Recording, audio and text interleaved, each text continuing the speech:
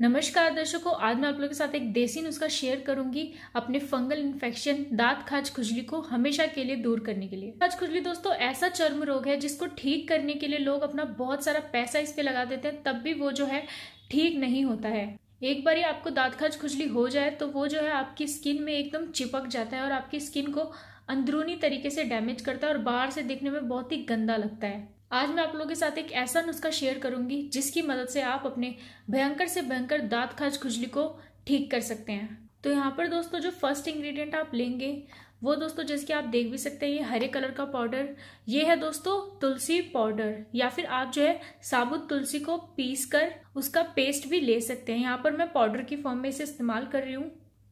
तुलसी के अंदर दोस्तों भरपूर मात्रा में विटामिन सी, विटामिन ए और मैग्नीशियम पाया जाता है, जो कि आपके दांत खाज खुजली को सुखा के उसे बिल्कुल ठीक करने के लिए बहुत ही ज़्यादा कारगर रहते हैं। ये आपकी बॉडी से हर तरह के फंगल इन्फेक्शन को दूर करने के लिए, आपकी हाइजीन को फिर से वापस लाने के लिए तुलसी बहुत ही अच्छे तरीके से काम करती है। यहाँ पर हम जो है तुलसी पाउडर ले लेंगे। देखिए आप इसकी मात्रा आपको कितनी लेनी है। एक चम्मच करीब यहाँ पर हम जो है तुलसी पाउडर को ले लेंगे। अब जो आपको सेकेंड इंग्रेडिएंट लेना है, वो है दोस्तों, डाबर पुदीन हरा पर्ल्स ये आपको लेनी है सिर्फ़ एक गोली। यहाँ पर आप इस तरीके से ये एक गोली को ले लीजिए और इसको पंचर करके इसका जल पोषण इसमें आपको डालना है। इस तरीके से इसका जल पोषण आपको ले लेना है।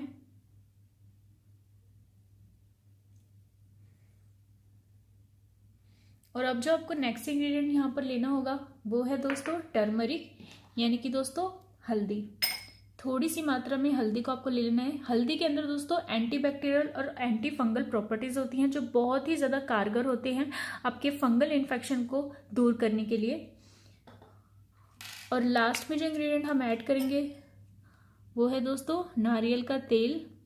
नारियल का तेल आपकी फंगल इन्फेक्शन में जो इचिंग होती है, जो खुजली होती है, उसको शांत करने का काम करता है और आपके फंगल इन्फेक्शन को ठीक करता है। अब हम इन सारी चीज़ों को अच्छे से ऐड कर देंगे और फिर मैं आपको बताऊँगी कि आपको इसको अप्लाई किस तरीके से करना होगा।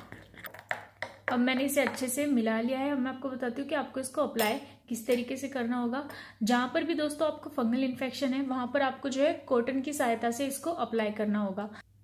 अभी मेरे पास कॉटन नहीं है, पर मैं आपको बता देती हूँ कि आप किस तरीके से अप्लाई करेंगे। इस तरीके से आपको लेना होगा और इस तरीके से आपको जो है, वहाँ पर बस एक बार टैप कर देना होगा।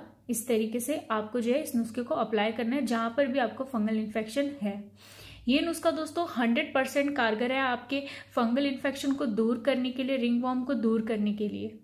बस आपको इसका नियमित रूप से पालन करना होगा, नियमित रूप से आपको इसको यूज़ करना होगा। यूँ नहीं आपने एक दो बारी यूज़ करा और फिर छोड़ दिया।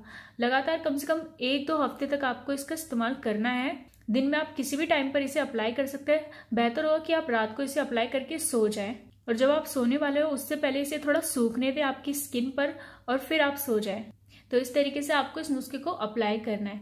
ये था दोस्तों मेरी तरफ़ से आप लोगों के लिए आज का नुस्खा। नुस्खा अगर आप लोगों को अच्छा लगा हो तो प्लीज़ इसे लाइक कीजिए कमेंट कीजिए और शेयर कीजिए और प्लीज़ मेरे चैनल को ज़रूर ज़रूर सब्सक्राइब कीजिए। मिलते हो नेक्स्ट वीडियो में, तब तक के लिए अपना ख्याल रखिए और स्वस्थ रहें